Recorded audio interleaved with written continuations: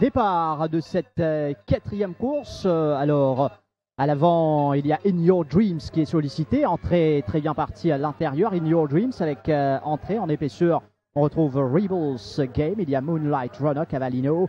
Juste à son extérieur, il y a son compagnon d'écurie, à savoir Apple Pie, avec la toque jaune de Sunil Bassant. Ça mène Aware, Kalinago en dehors et fermant le cortège. Pour l'instant, on retrouve Roving Jet, les fantômes la descente, environ 900 mètres à parcourir, c'est l'Outsider In Your Dreams, monté par Michel Tiha qui dirige les opérations. À son extérieur, Moonlight Runner, Rebels Game pour l'instant un parcours difficile en troisième épaisseur, entrée qui court bien caché avec Apple Pie, Cavallino est dans le dos euh, d'entrée, ensuite Kalinago, Aware en retrait.